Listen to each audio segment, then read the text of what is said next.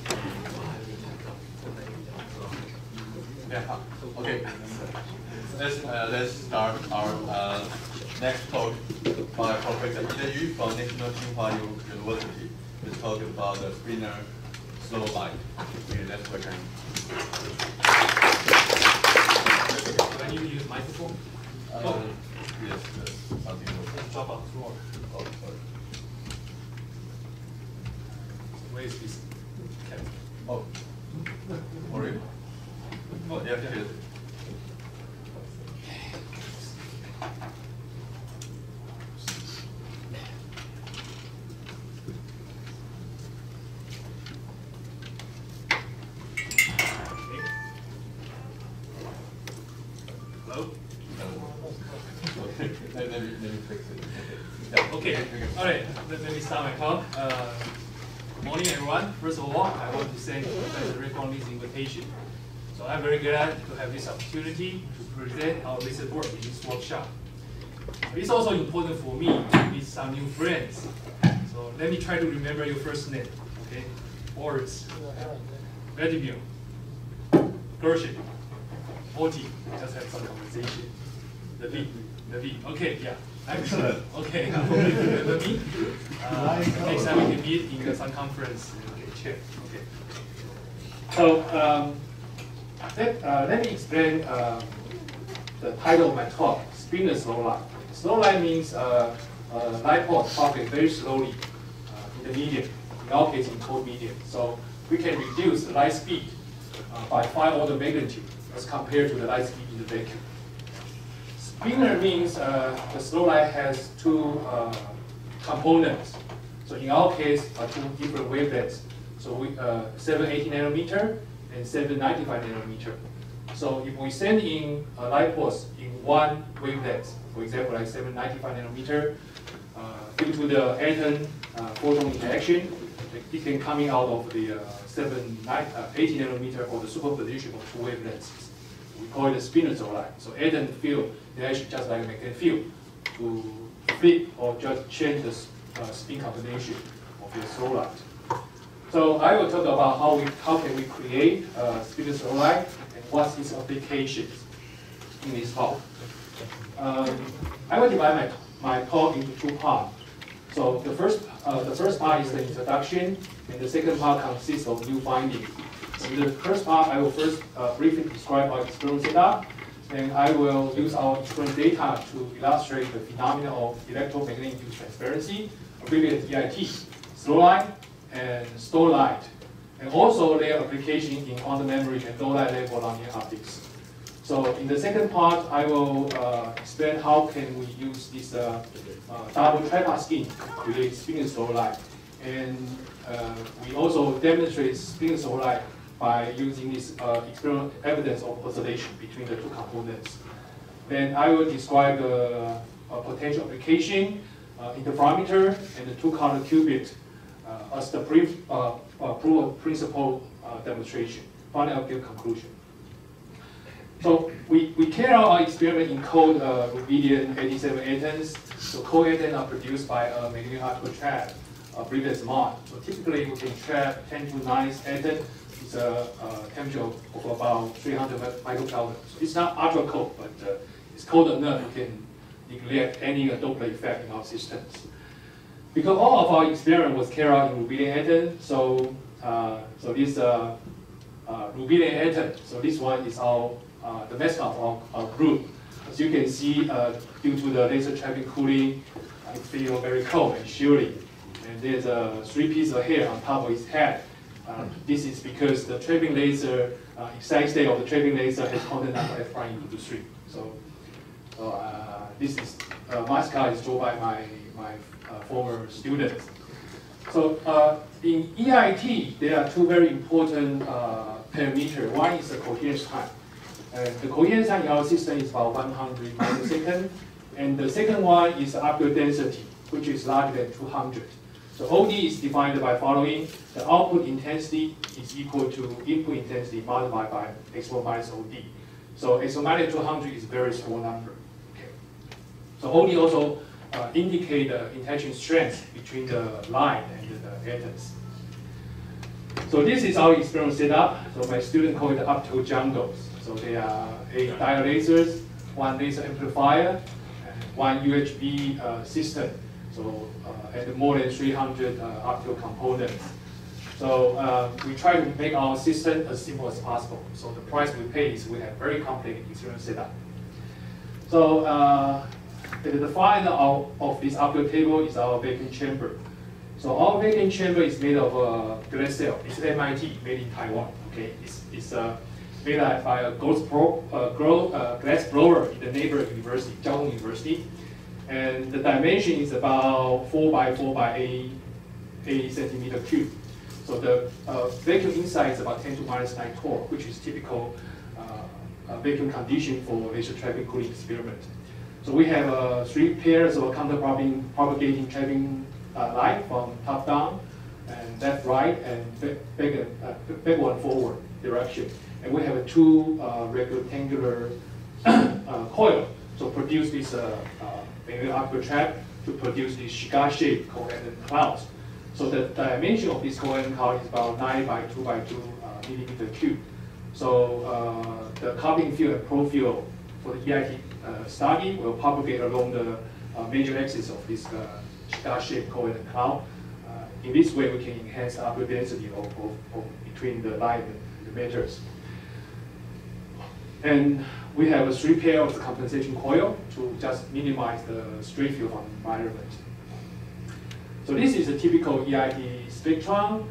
Uh, because EIT is a, a phenomenon in three-level system, so in the spectroscopy measurement, the coupling field frequency is fixed to the resonance, and we swap the probe uh, frequency across the transition. So here is the probe transition plotted against the probe detuning uh, in the units of a natural light which is 6 megahertz in our case.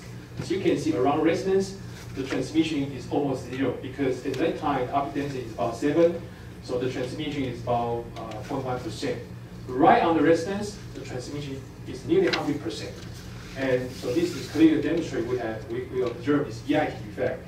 And the transparency window is only about a few hundred uh, kilohertz, which is very narrow and much narrower than the, the natural line width. So uh, this data is taken uh, much uh, more recently uh, at the update of about 228. As you can see, even the laser is detuned five natural line widths away the transmission is only about 10%. And near the resonance, we, we can still see this 100% transparency. We can enlarge this part of the spectrum uh, in here. Uh, the line width is about 250 kilohertz, and the right on resonance, you have 100% transparency. And a little bit away from the, uh, the resonance frequency, then the transparency decay to 10 to minus 99 because uh, this exponent, exponent minus 20, 228 uh, is about 10 to minus 99. So you already observe very narrow and high contrast observing profile. This indicates we have a very large chromatic dispersion in our system, and we can make the light pulse propagate very slowly in our patterns. So here are the uh, data uh, showing the slow light and storage light. So we plot the transmission as a function of uh, time. So in the top plot, The black line is input probe pulse, and the red line is output probe pulse under constant presence of the coupling field. So as you can see, there is about 3.5 microsecond delay time. And the median length is only about one, one centimeter. So, so the light speed is only about three kilo, kilometer per second, which is reduced by uh, five of the magnitude as, uh, as compared to the speed in the vacuum. So as this time in, instant, all the input ports had already entered the atoms, and none of the output ports coming out of it. So we quickly switch off the coupling field. So about four microseconds, the detector received no signal at all. The reason is we store this light pulse in the hidden atoms. After this four microseconds, then we turn the coupling field back on, and the stored uh, pulse is uh, coming out of com comes out of the atoms. As you can see, uh, there is no attenuation at all because our coherence time is about uh, 100 microseconds. So 400 microseconds uh, storage time does not uh, uh, deteriorate energy at all. So what happened during the storage? Uh, this uh, switching process, uh, this writing process with turning off the coupling field just induce a two-photon Raman transition. And population will absorb prophoton and emit a coupling photon. So after the coupling field completely turned off and the atomic wave function remain in our system. So we can call it the ground state coherence or Raman coherence or spin excitation.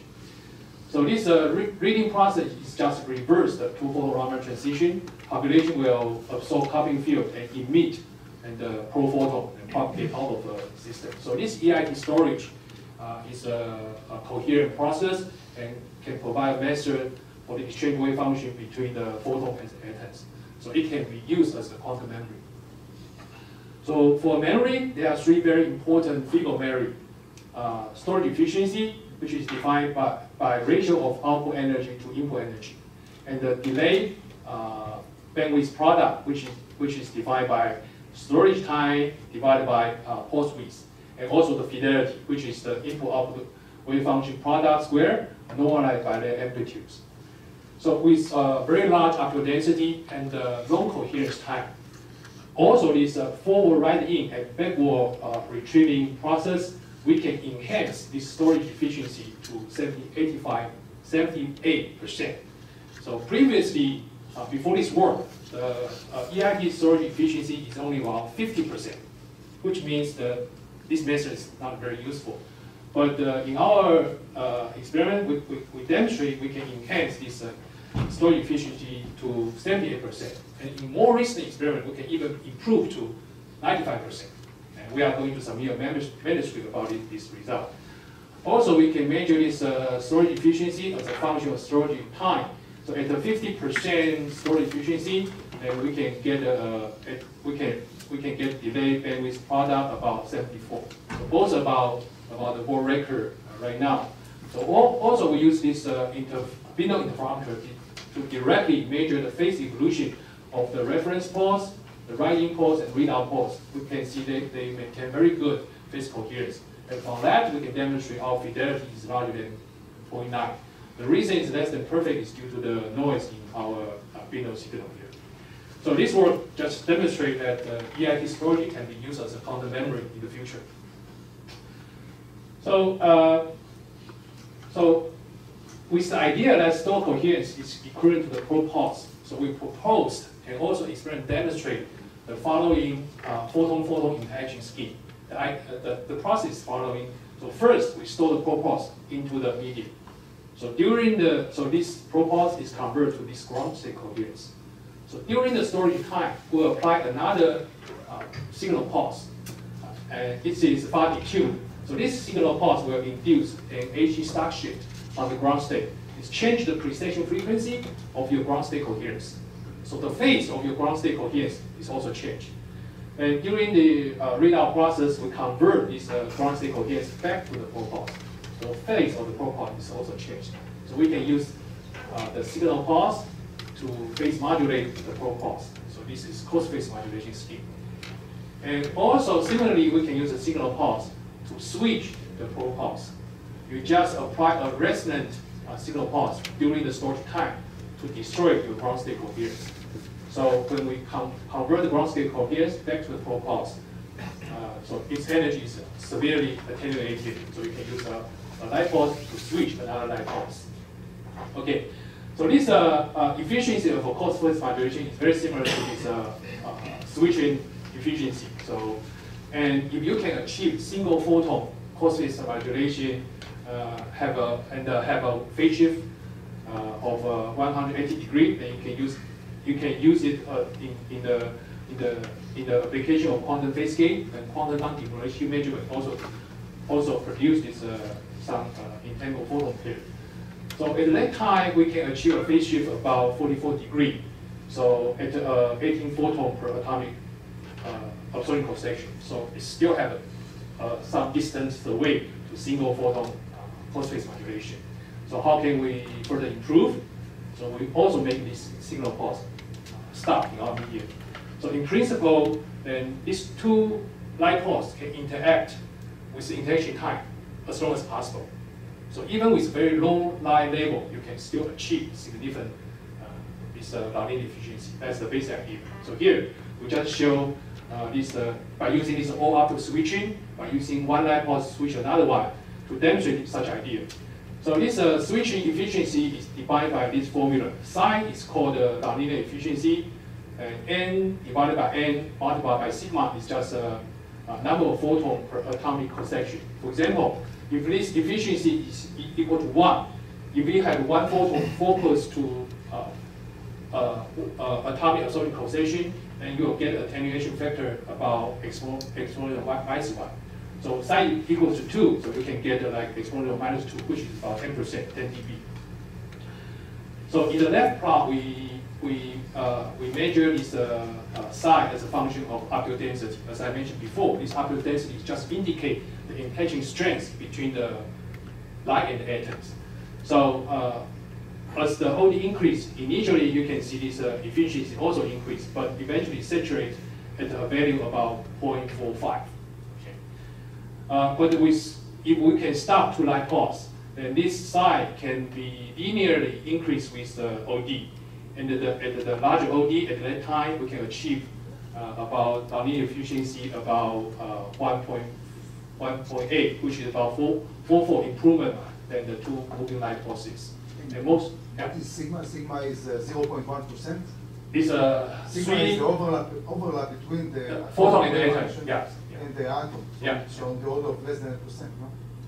this sigma, Yeah. this sigma is, is area, right? Like, uh, it's like a lambda square, proportion lambda So square. it is the, the, how much there is overlap between the wave function of the photon and the wave function of the atom. Think, that's right, that's right. It's like, just like collect, co- collections, cross-section between the two. Okay, yeah. So most importantly, this, uh, with our method, this uh, nonlinear efficiency can increase uh, with OD and without any operation. So I, I think uh, uh, this is the first experimental demonstration we can make two light, uh, two light pulse stop in the atom and make them interact with each- other. So this nature physics with the article for the light switch nicely summarize our work. So it says stopping light pulse and making them interact in a medium is a way to get more for less. Okay. I think yeah, nice describe uh, the result of work. So um, so for for this this title, uh, you you now can understand. It's not the light switch, uh, which is frozen or out of order. It's a switch made of frozen light in our case. So I make a quick summary about the, our previous work. So uh, first, I want to uh, acknowledge my long-term collaborator, uh, Dr. Ying-Cheng Chen and Dr. Yongfan Chen, who are my former PhD student, are now uh, re- uh, associate research fellow in Institute of Atomic and Molecular Sciences at Academia Sinica, and Yongfan is the professor in Department of Physics, National Cheng Kung University. So as you can see, this uh, EIT slow effect can enhance this nonlinear efficiency, can achieve very high nonlinear efficiency even at the single photon level. Also, this EIT-based storage can be used as a quantum memory. However, all the previous study will deal with this single component slow line, which is not really qubit. So now how we can create this spinor line or, or two component qubit? We are using this double tripod scheme.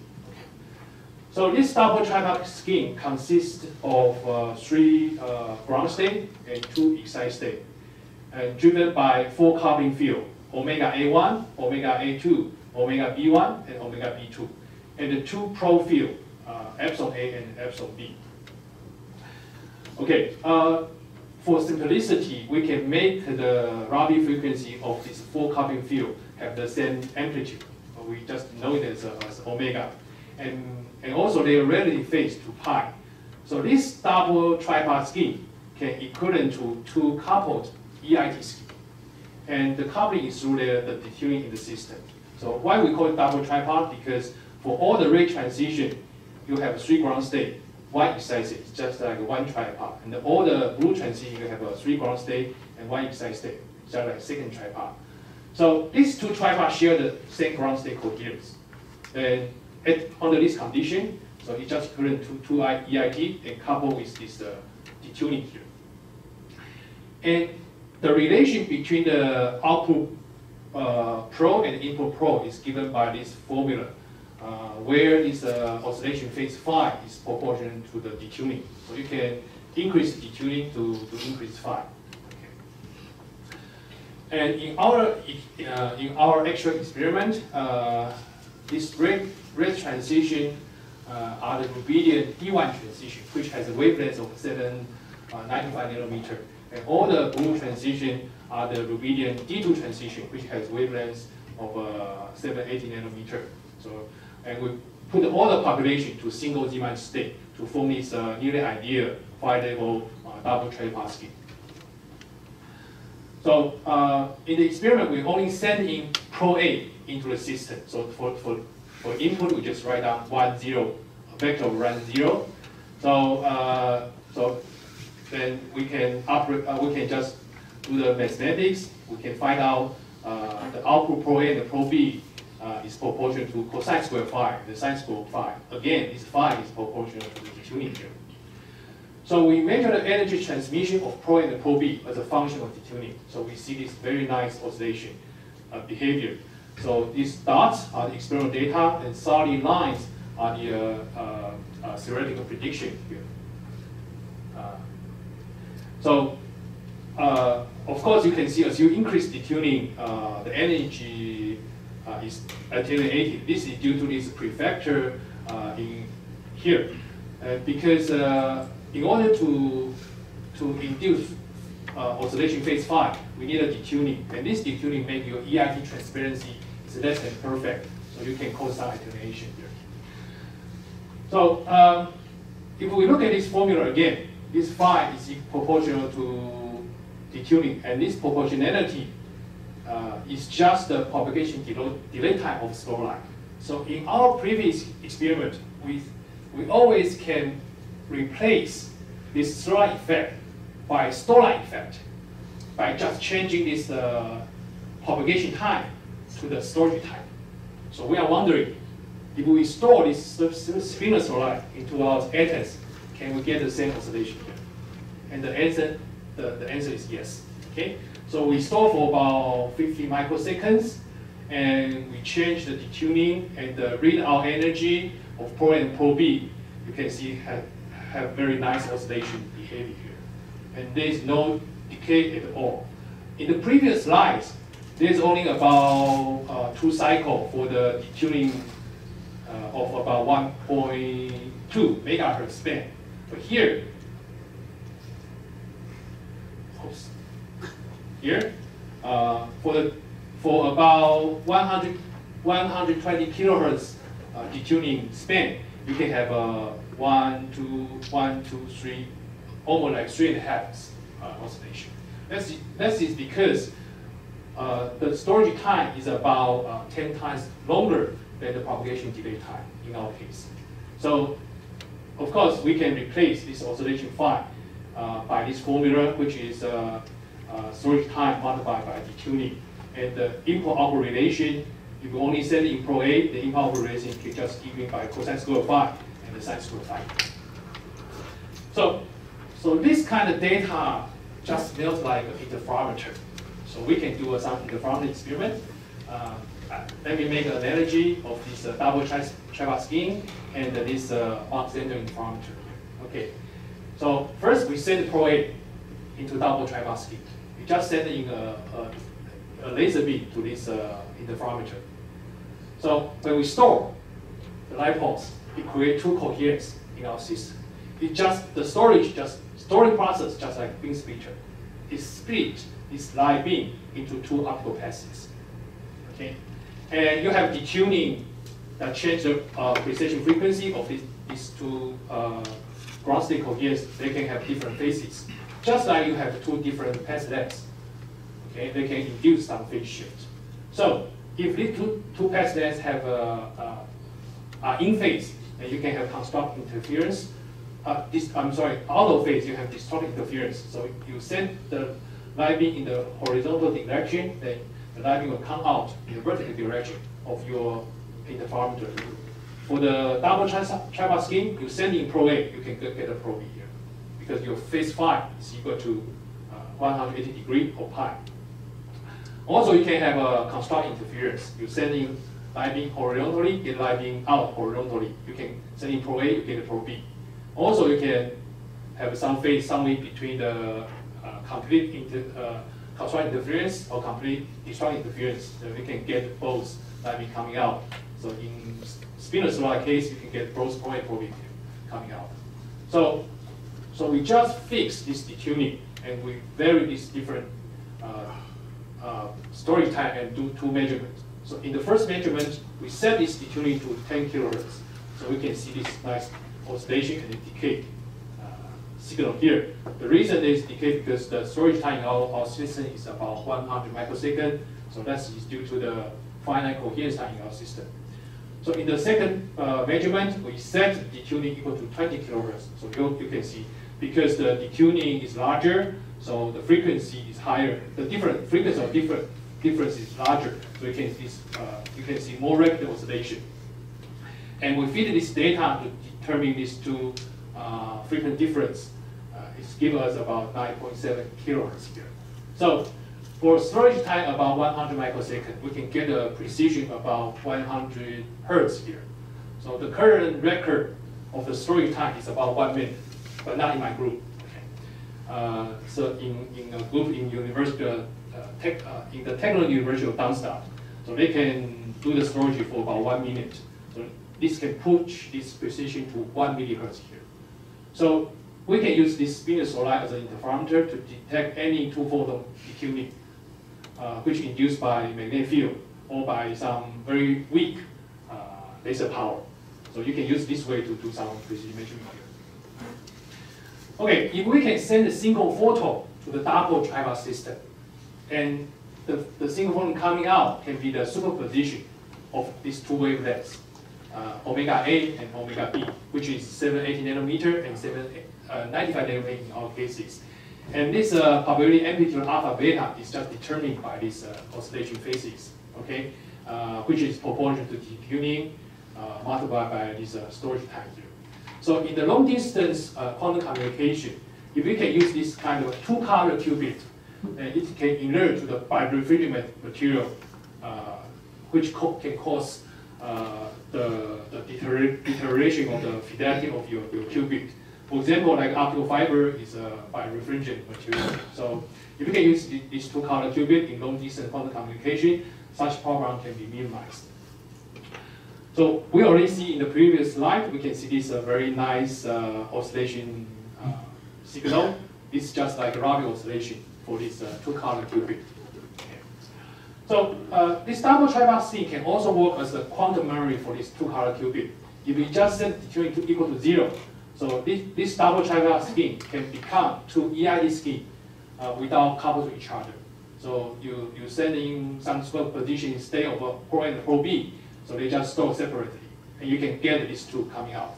So to demonstrate, demonstrate that, we send in different combination of alpha to beta, like uh, the ratio square equal to 0.5, 1, and 2. And we store for 3 microseconds. Also, we store for 33 microseconds. So as you can see, after 30 microseconds extra storage time, the ratio still kept the same, and the pole shape also still kept the same. Although they there's a little bit delay, uh, decay in the energy that's caused by the finite storage in our system, but the, uh, eventually these similarity are very, very, very similar. So this demonstrates uh, we can use this uh, double tripod scheme as a quantum memory for these two color qubits. So memory is very important in this long distance quantum communication. So also we can use this double tripod scheme as a quantum rotator. For example, uh, during the storage time, we can induce some detuning. So this detuning uh, can can just, uh, for example, like uh, around the 20 kilohertz, we can send it in alpha beta equal to 1, 0, and get the alpha beta equal to 0, 1. So you can just complete, uh, flip your, your spin. Also, you can use some kind of a arbitrary oscillation phase phi, uh, determined by this detuning here, to get some kind of uh, superposition state of your, your omega A and omega B, two modes. And this detuning can, can be used by magnetic field or, or some uh, light field with some Raman shift or AC Stark shift. I make conclusion, and we report the first experimental demonstration of spinor slow light, and the stored spinor slow light can behave like an interferometer for precision frequency determination. And single photon spinor slow light can be considered as a two-color qubit. We also demonstrate this double tripod spin can be used as quantum memory and rotator. So more detail can be found in this paper. And also there are some theoretical uh, idea about how to use this uh, light in the uh, study of a Dirac particle with variable mass or Klein-Common. You can find out these two ideas in these two papers here. So finally, I will make uh, an argument about our founding agents and also my student and postdoc, uh, Meng Rong, uh, Gao Fan, uh, uh, Xing Yuan, and Hong Wen, also my theoretical collaborator, uh, Minas uh, of Vilnius University, Slovenia. With that, I thank you very much for your attention. Any questions? Yes. Uh, in uh, 2002, 2003, with my uh, postdoc David Petrosyan, we published a series of papers on cross-phase modulation as a means of entangling two photons. Entangling two photons, okay? Yes, uh, um, so uh, one conclusion we had was that, uh, and we, we followed the, the same mechanism, except that uh, we did not find a particular advantage to the double tripod uh, scheme, but perhaps there is some. Uh, what we did find out is that co-propagating pulses have a disadvantage because the nonlinear shift at the peak is different from the nonlinear shift at the tails. And, and therefore, what we suggested uh, in one of the papers is to have one uh, pulse actually uh, be trapped so it uh, stays uh, stationary, whereas the other sloshes back and forth through it and th- thereby averages out the non-uniformity of the shift. However, even with that, and that of course uh, did uh, uh, cause some improvement. However, even with this provision, our conclusion was that the only viable way of fully entangling two photons by cross-phase modulation is to use the dipole-dipole interaction. Uh, and uh, this is a paper with uh, Friedler, which actually was experimentally uh, uh, implemented by Lukin's group Yeah. uh, uh, recently. So could you comment on that? Yeah, okay. Actually, you just make a very good suggestion and comments on my work here, okay? Yes. And actually, yes, actually, uh, right now we are going to do this EIT Rydberg experiment Yes. in my lab. I hope you have time to visit my experiment, okay? But I don't know how, what's the schedule here. So eventually, again, as, as, as you, you just mentioned, we try to use this dipole strong dipole type interaction to facilitate this uh, photon-photon interaction here. So uh, all the trick we already played uh, with these two stop light poles here, we can also play the same trick in this uh, Rydberg EIT scheme. Yes.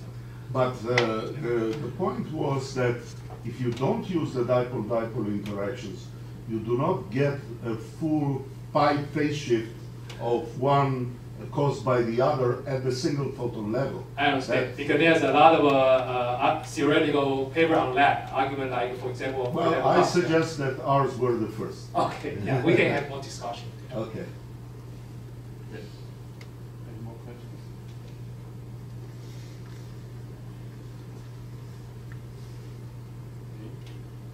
So, okay, um, so let's thank our speaker. Uh, let's talk in the morning with uh, uh, Professor Yao.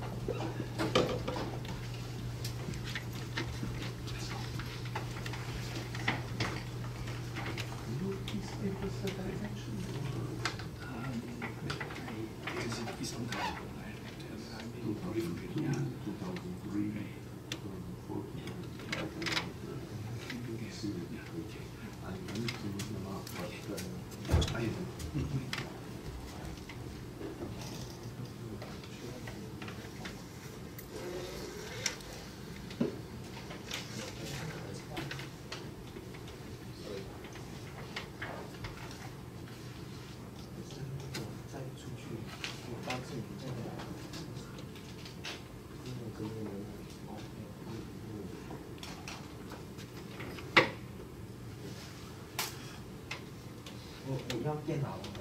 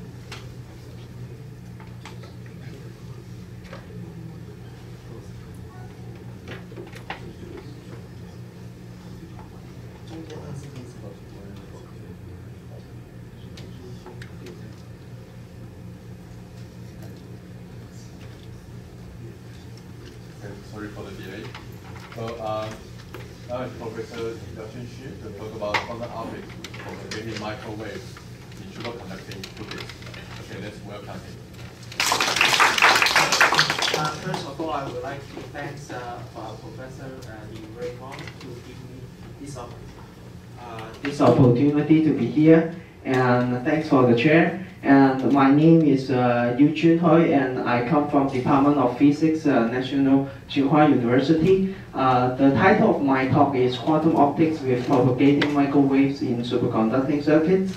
And uh, we use uh, superconducting circuits to make artificial atom and uh, study uh, these artificial atom to study uh, quantum optic phenomenon in one-dimensional space. And in particular, in this talk, I will show you a series of quantum optical ph- phenomenon, including resonance, scattering, and photon number filter. And at the end, I will show you how we can modify the, uh, the spontaneous emission rate of uh, an artificial atom.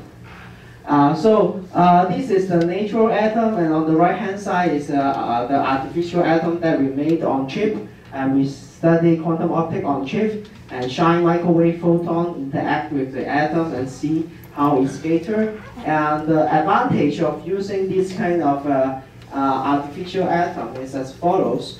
We can engineer atom-like interaction on chip, and also, so this is a standard fabrication technique, and the transition energy of the atom can be tuned and is very mechanical stable. Uh, so compared to quantum optics uh, uh, toolbox, uh, uh, this slide shows you superconducting circuit quantum optics toolbox. So for quantum optics, we use fiber optics. Compared to superconducting circuits, we use transmission line and the beam, uh, the beam splitter, we use hybrid coupler. The mirror correspond to uh, boundary condition in, uh, uh in circuits, which is uh, a capacitance or, or grounded. And then uh, laser light out, output a coherent light, which corresponds to a microwave coherent source. And the counter, photon, photon counter corresponds to uh, in microwave domain, we don't have a um, perfect microwave count, uh, counter, and instead we amplify the weaker uh, uh quantum microwave signal and, and uh, use a heterodyne detection to measure uh, the, the properties of the microwaves. And on the left-hand side, we play with optical photons, and on the right-hand side, we play with microwave photons. And Uh, uh, you may ask uh, how we uh, build an artificial atom based on superconducting circuits. Actually, it's just based on these three basic elements. The first one is linear capacitance, and then linear inductance, and nonlinear inductance. This kind of nonlinear inductance is come from a so-called a Josephson junction, which is a superconductor insulator superconductor junction. And this tunnel junction, this is very thin layer of insulator, and this uh, Josephson junction is determined by these two uh, equations, current phase uh, equation and phase voltage equation. And from these two equations, you, you will know that uh, this such kind of Josephson junction is a uh, nonlinear uh, inductance.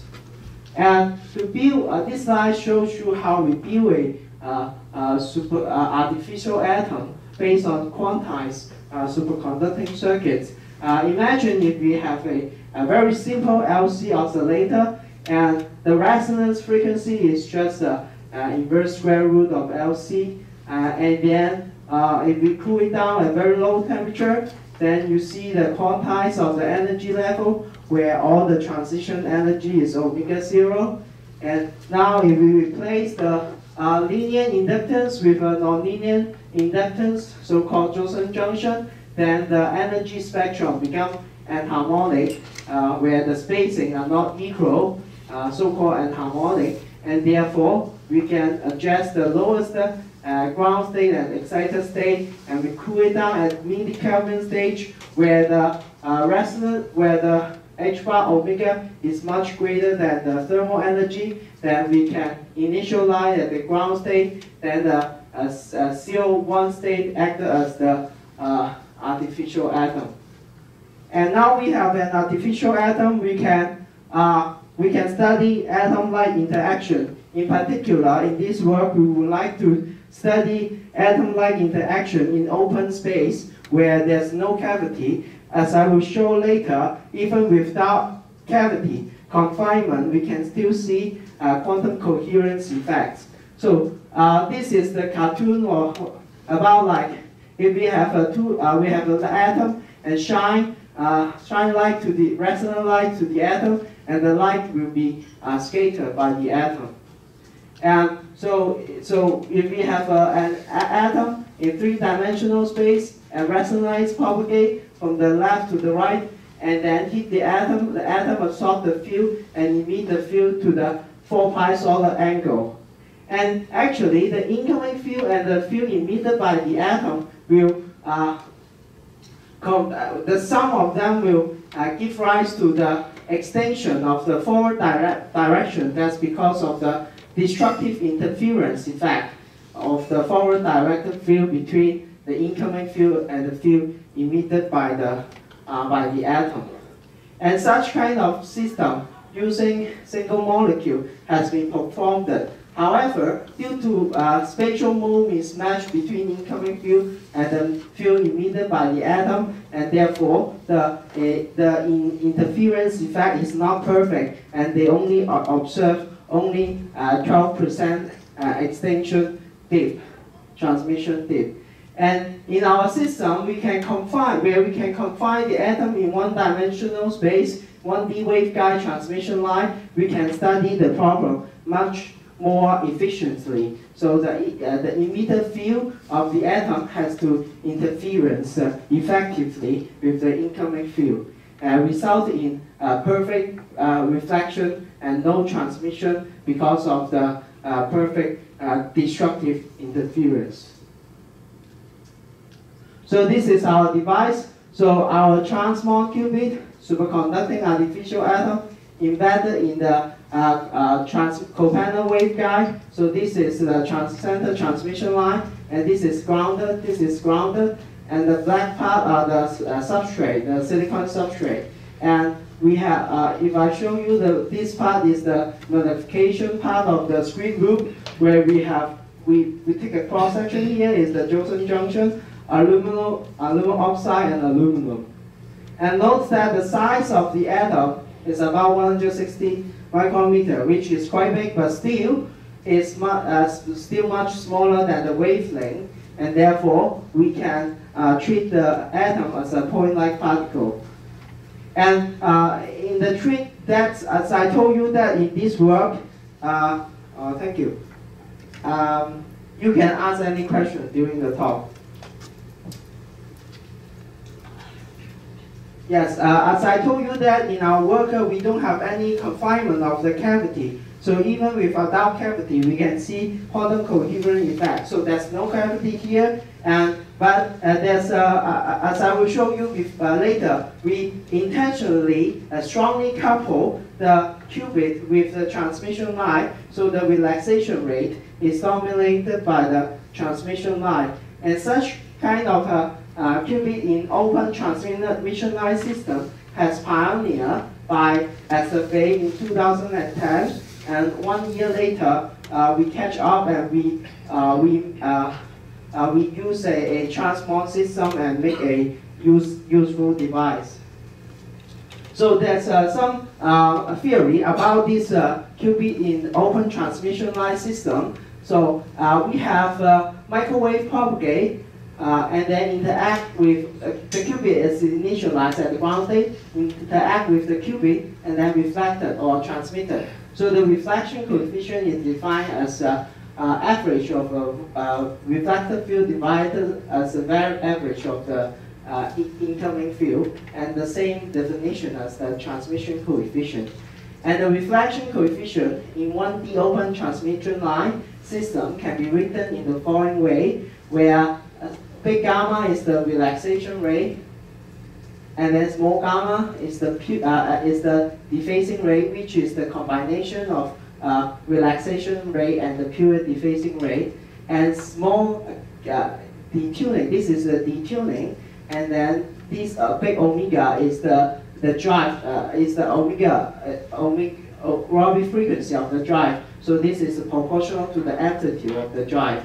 Uh, so uh, with a very low power, so low amplitude, and on resonance, so this is zero, this is zero and weak. So this is negligible. So the reflected field on under this condition uh, is, uh, can be written in the following way, where it depends on the ratio uh, between pure dephasing rate and the relaxation rate. As I told you before, we can engineer the uh, relaxation rate intentionally coupled to the transmission line. So uh, so that we uh, we, we design such that gamma 10 is much bigger than gamma pure dephasing then from this according to this formula uh, this uh, reflection coefficient uh, at weak power of resonance should be equal to 1 which means that the the, the qubit acted as a mirror and perfectly reflect the electromagnetic field at the low power res of resonance.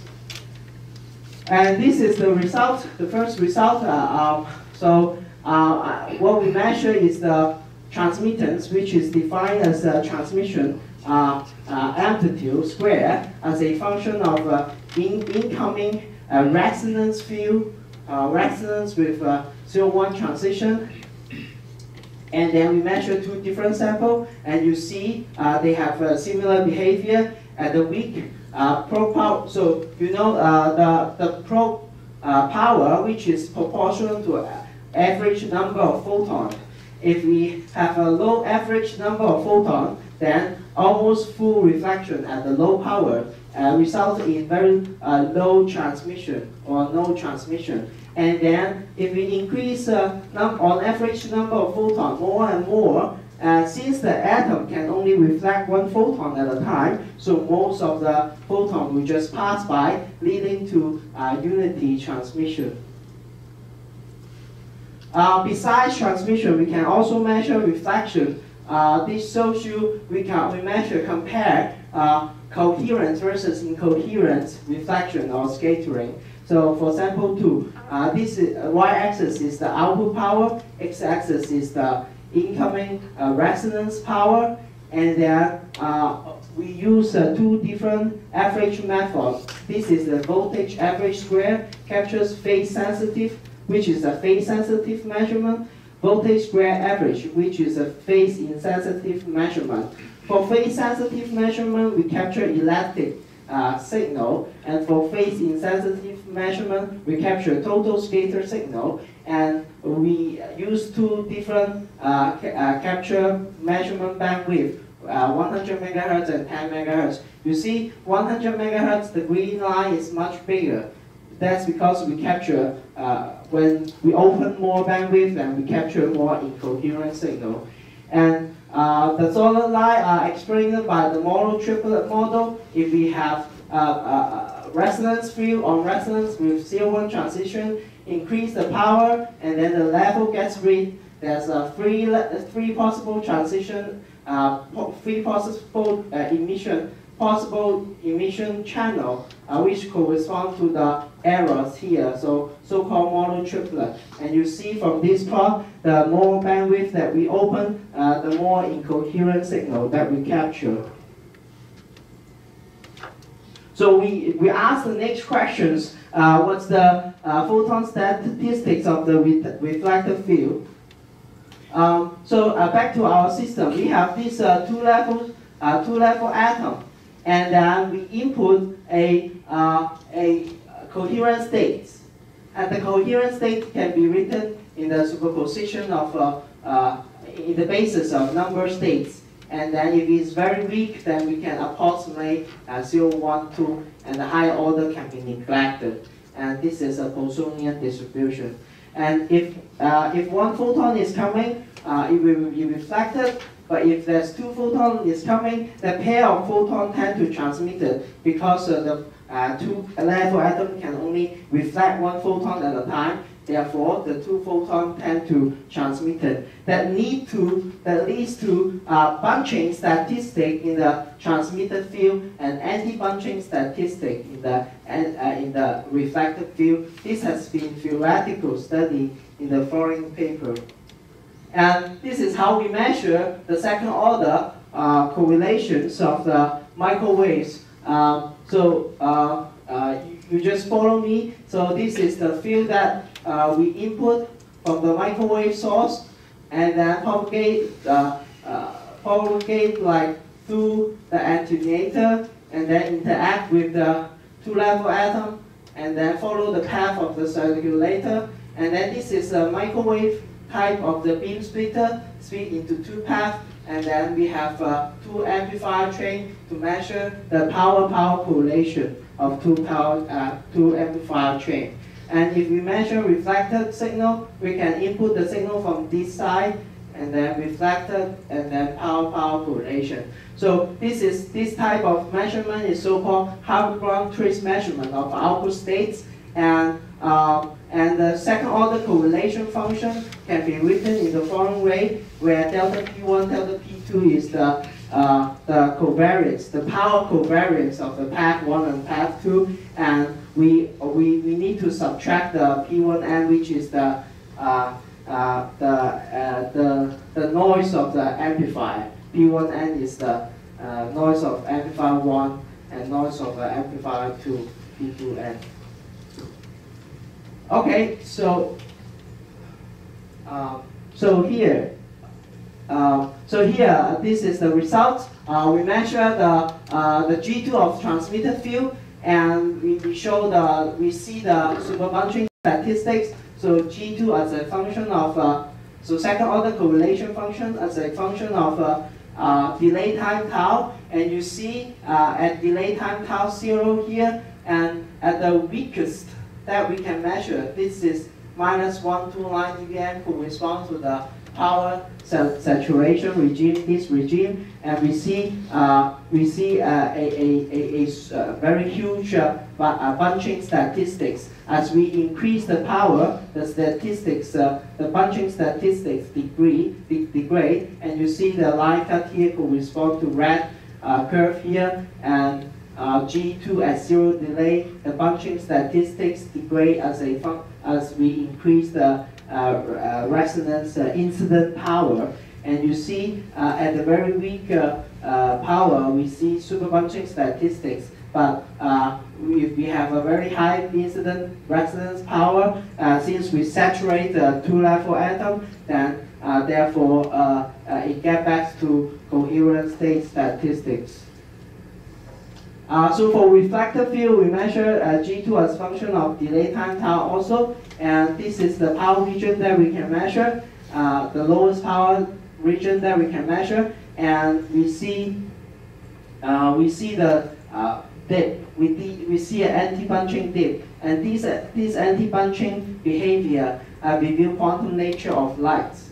And and from theoretical prediction, you might you might predict uh, this tip should be at this tip should be zero. But due to the result, due to the effect of the measurement bandwidth, uh, measurement bandwidth and temperature and uh, non-ideality of the measurement, and therefore we can uh, only get down to about 0.5. So the other topic I want to address is uh, uh, what if we put an, uh, an atom in front of a mirror in this uh, one-dimensional open wave guide, semi-open wave guide? So um, we have, uh, again, we have this two-level atom, and we put it in front of a boundary condition, a mirror. The, this is grounded, so acted as a uh, as a mirror boundary condition where we reflect the electromagnetic field and we inject the uh, the microwave tone here and see what's the reflected uh, reflection coefficient. Again, we have the squid loop like that, and we once we put magnetic field into the squid loop, we can change the uh, resonance frequency of the two-level artificial atom. And actually, such uh, kind of uh, system has been first investigated in uh, using single ions. however, in their system, uh, it's hard for the, uh, they, they perform in three-dimensional space, uh, whereas we, we perform in one-dimensional space. Uh, uh, for them, it's very hard for them to uh, collect all the effect, the scatter field from the atom effectively. However, in our case, we, we collect the collect we collect efficiently, and um, and you see, uh, this is the, um, uh, the symbol of the, our system. So this is grounded and we have a distance between the mirror, the, between the mirror and the two-level atom with distance L. And uh, the, the red and the red and blue field shows you the uh, resonance electromagnetic field uh, propagate, uh, distribute along the transmission line where grounded is zero, and then depending on the atom state at the node or the antinode, then there's a different coupling. If the atom state at the node, there's no coupling between the field and the atom. But if the atom stay at the antinode, there's a maximum coupling. Um, so by changing the normalized distance, lambda, so normalized distance is L over lambda. So lambda is transition wavelength of the atom, which get tuned by, uh, by the magnetic field through the SQUID loop, and by changing this uh, uh, normalized distance, and therefore we can change uh, either the atom state at the node or the antinode, and we can see uh, the, the, how the, the, the atom couple to the, to the vacuum field. So, that, uh, so the mirror, the role of the mirror here shapes the mode of the vacuum that couple to the, uh, to the atom.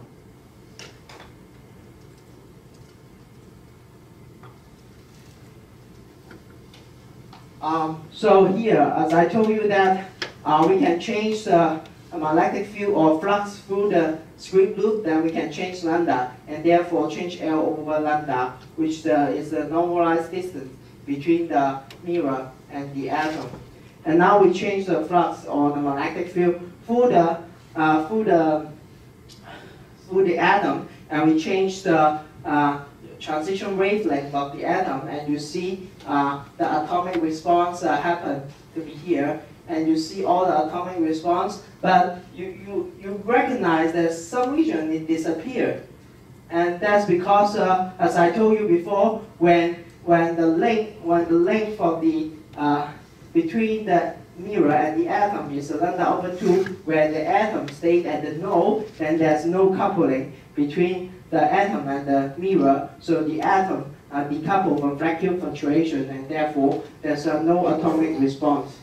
And if we take further line cut uh, on the red and blue here, so red corresponds to red data here, and blue corresponds to line cut blue here, and you see uh, the line width here change a lot. And if we fit uh, the dip and the and the width here can be fitted by the theory and we can extract it by, we can extract the spontaneous emission rate and the period dephasing rate, and we see uh, the red and the blue change by uh, one order of, about one order of magnitude.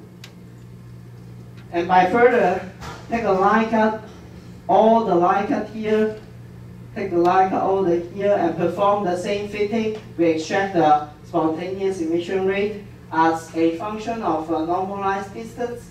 So spontaneous emission rate, the red marker, and the pure dephasing rate, the blue marker, and uh, as a function of normalized distance, and we see uh, the, the spontaneous emission rate actually oscillates. And this oscillation is uh, uh agree with the Thoring theory, the spontaneous emission rate oscillate as function of cosine, theta, cosine square theta, where theta is the uh, phase difference between the between scattered field from the same atom. So uh, you have the atom here, and you have a mirror here. You have field propagate, and then excite the atom, and the field uh, will emit from the, to the left or to the right. To the left, propagate toward the mirror and bouncing back, and then further interference to the right. And this is and, and due to this interference effect, so we uh, this this field propagate uh, towards to the mirror bouncing back. That's two factor of two, and it, it, it the distance L over lambda and pi phase shift from the mirror, and therefore it gives rise to the uh, oscillation of the spontaneous emission rate. And now we have the spontaneous emission rate as a function of normalized distance the goal is to extract the uh, vacuum fluctuations near the qubit, and then uh, we need to have a uh, coupling constant. So we need to calibrate the system of the coupling constants, and therefore we perform the following. Uh, we, we want to uh, calibrate the atom field coupling K, so we measure the reflection coefficient as function of incident resonance power, and uh, and we see so this is a real real real part response and emerging part response. You, you can think as uh, amplitude or and phase response, and you see there's uh, this curve like that, And at this region, uh, it's relative high reflection. This reflection is due to reflected by the atom, the field reflected by the atom. And at this region, the atom is uh, uh, uh, saturated and the field is uh, reflected by the boundary condition. And at this region, the reflection coefficient is equal to 1. That's because we measure, this is a phase-sensitive measurement. This only captures the uh, phase uh, coherent signal. So the field actually emitted, all the field emitted incoherently. And by fitting this curve here, we can extract the uh, coupling constant K. And uh, by following this formula, the spontaneous emission rate is related to the spectral density through the, uh, through the coupling constant K. Then we can plot the spectral density as a function of a normalized distance.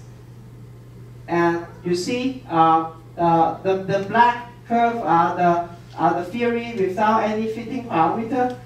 And then the red are the data that we showed you before. And uh, the, the blue region is the region where we can, cannot observe any, any data.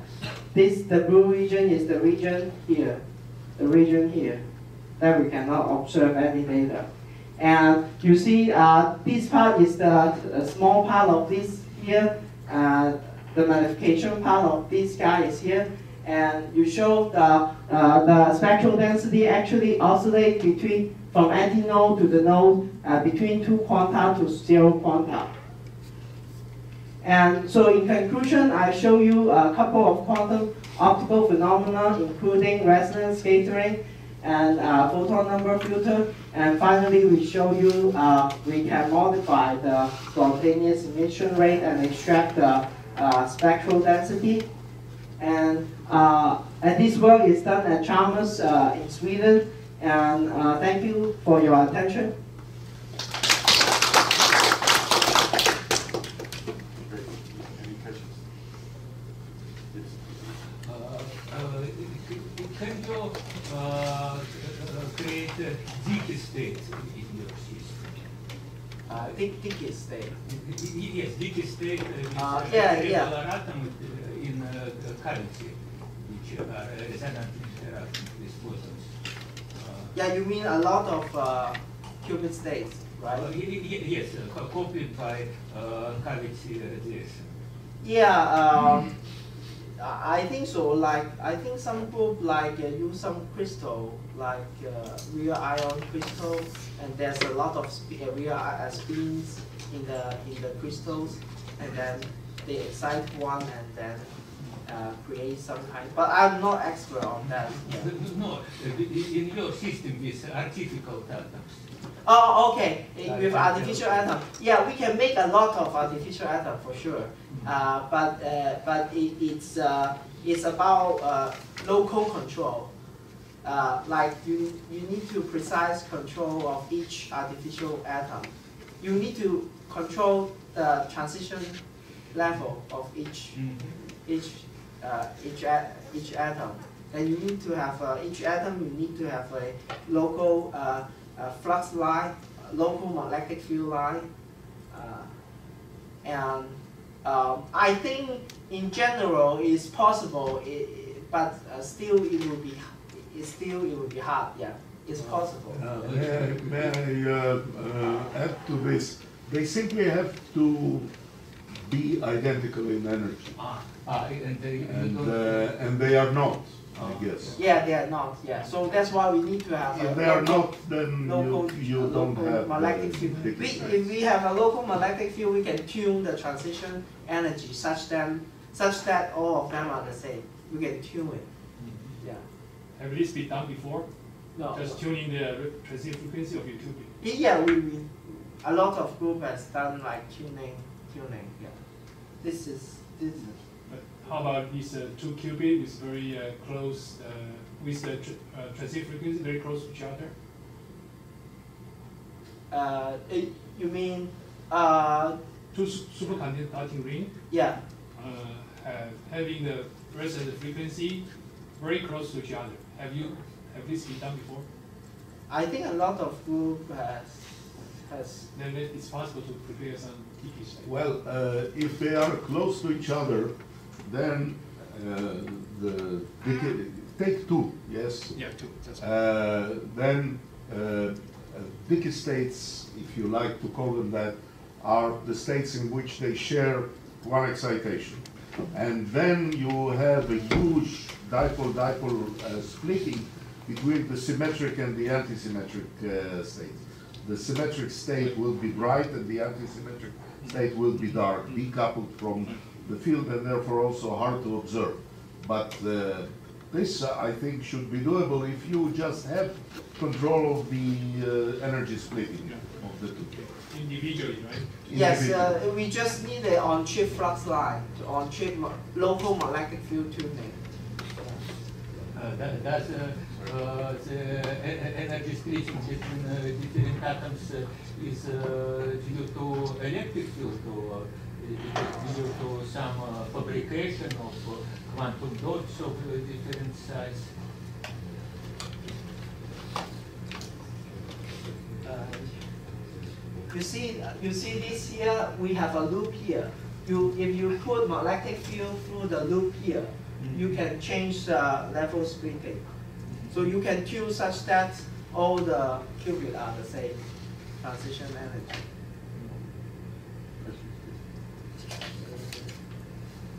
Fact that you do not couple to the dipole, which means that you have no interaction between the current density or the effective di- electric dipole and the electric field in the cavity is, is very clear. However, what is not clear to me is why you don't see anything which is higher than the dipole, quadrupole and so on, which may couple to the magnetic field in the cavity.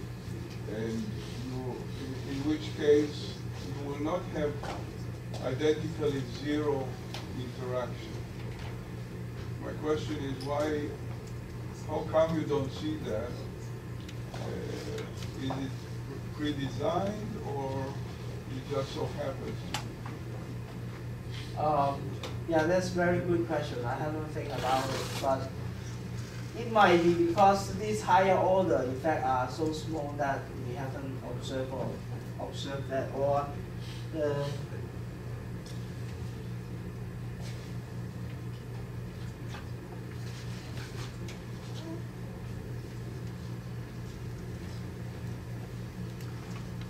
If you were, to ask me before you started the discussion whether you would see absolute zero, as you indicate here, say, well, it's all about. I oh, think, yes, zero, no.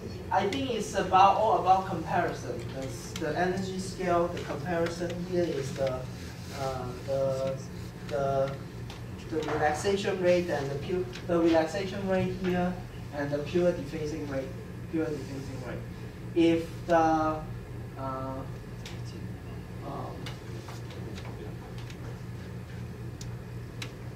um, you can think of like uh, if uh, uh, if the qubit is very bad, if the qubit is very bad, it no longer acts as a uh, as a mirror. Uh, let me think. Let, let me think about it. Yeah. This uh, this region is like when the gamma is approximately zero. Is is the. Yeah, I, I, I think yeah I, I have to think about it. I, I cannot answer your question now. Yeah, I have to think about it. Okay, so uh, now uh, let's close the morning session, and there will be some lunch boxes outside, so you are free to have uh, lunch and talk to each other in this room or outside, in the outside area. And our afternoon session starts from 2 uh, p.m. Okay, thank you very much.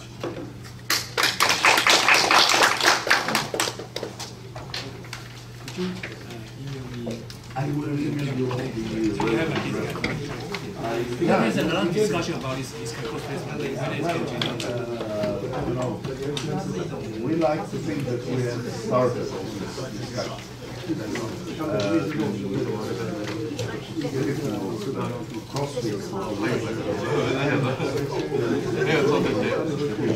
done by